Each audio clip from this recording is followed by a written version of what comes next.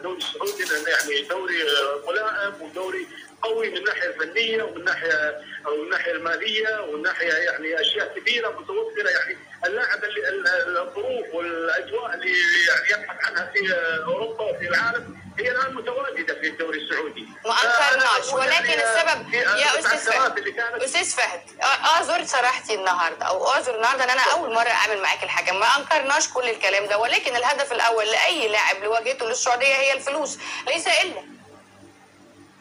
لا طبعا آه، ليس الفلوس فقط يا أستاذ مي لا ال- ال- ال- الجانب المالي آه، موجود ويمكن يمكن يفوق بعض ال- في الأمور في أوروبا وفي ال- ال- الجانب المالي في أوروبا متواجد اللاعب ماذا يبحث عن ماذا اللاعب في أي لاعب في العالم يبحث عن ماذا؟ يبحث عن الجانب المادي المناسب يبحث عن دوري قوي يبحث عن حضور جماهيري كبير يبحث عن أنكرتش. حتى إحنا عندنا لاعبتنا- هذه الأشياء طبعا. حتى إحنا عندنا لعيبتنا بنقول نفس الكلام إن هم لما بيروحوا ينتقلوا ويسيبوا انتباههم لنادي آخر بينتقل علشان المقابل المادي أعلى أعلى بكتير. يعني فعشان كده بيسيب الانتباه على جنب ويروح لمقابل نادي آخر.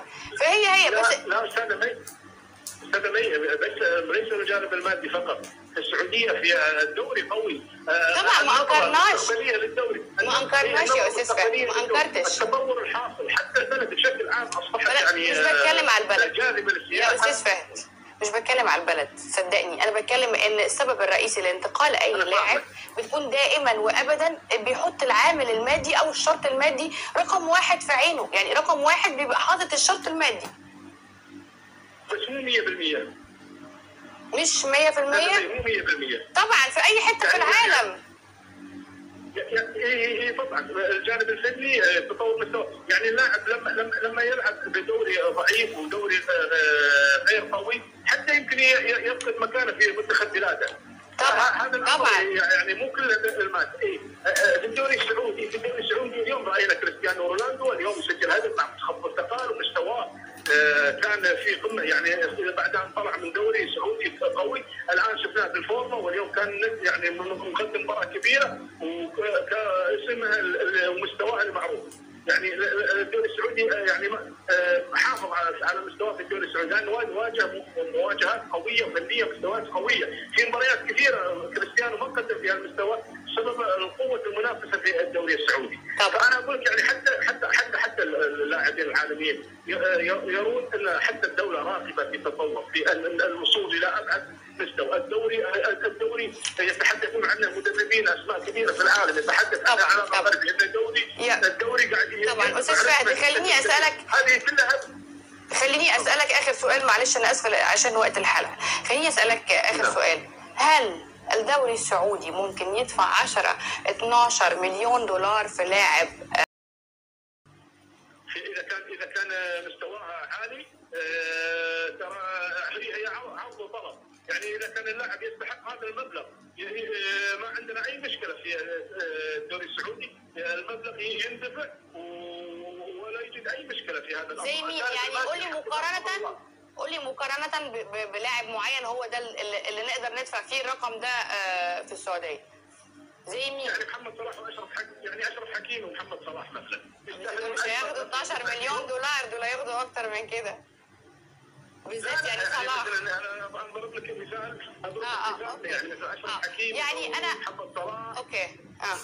أنا هأكد على على كلامك إنه أي معلومة عن تفاوض السعودية سواء هلال أو نصر مع محمد عبد المنعم والشناوي كاذبة.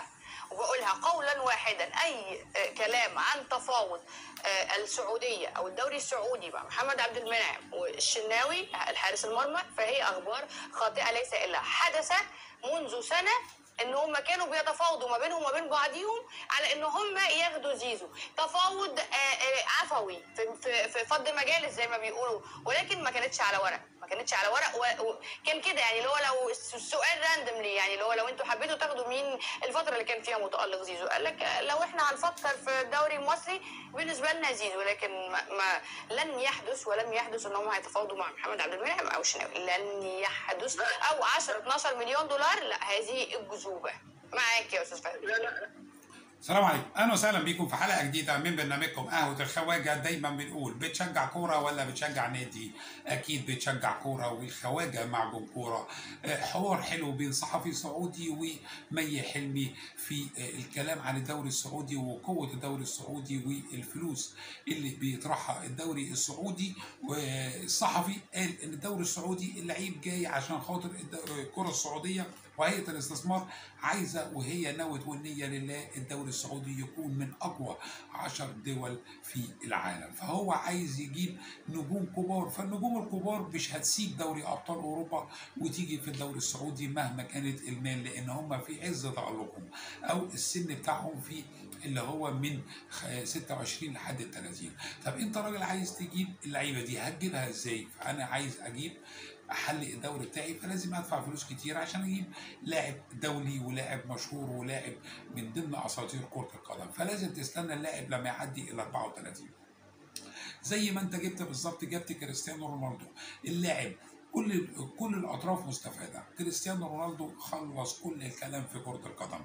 وإنت جبته بعد سن ال 8 ال 37 ال 38 خدت بيه شهرة ووصلت الدوري السعودي إلى اذاعات ومحطات كتير بسبب كريستيانو رونالدو. هي مصالح متبادلة بس دي لو هي بداية فهي أروع بداية للكرة السعودية في تطوير الدوري. وهي قصة قصة فلوس. إنت عايز تظهر على الساحة في بالدوري أوروبا إيه المشكلة أما الدوري السعودي يكون قايم على الفلوس ما هو الدوري الإنجليزي قايم على الفلوس بالدليل إن هو أقوى دوريات العالم وبيدفعوا مبالغ ضخمة جدا في بداية بداية قوته لكن دلوقتي خلاص حتى دلوقتي الأرقام خيالية أرقام إعجازية فأنت دلوقتي لما تيجي تتكلم عايز تخش الساحة هتخش الساحة على أساس إيه؟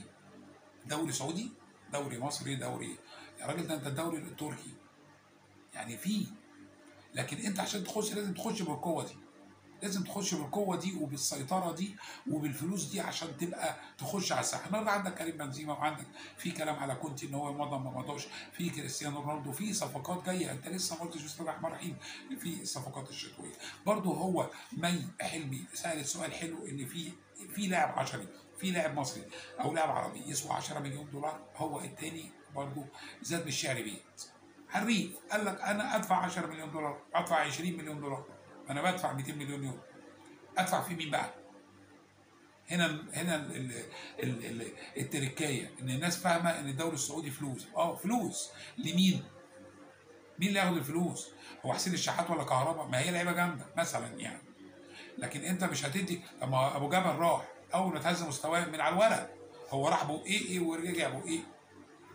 الدوري السعودي دوري جامد جدا وقال لك قال لك أنا هدفع 10 و20 مليون دولار بس واحد زي محمد صلاح واحد زي أشرف حكيمي خرج من الإجابة خرج من إجابة من السؤال بإجابة لذيذة وإجابة منطقية. وهو عارفه طبعا إن الأرقام بعيدة كل البعد عن محمد صلاح وأشرف حكيمي لكن كله بيلعب في الصحافة الإعلامية وده كان حوار صحفي من مي حلمي مع الصحفي السعودي. رب العالمين. אני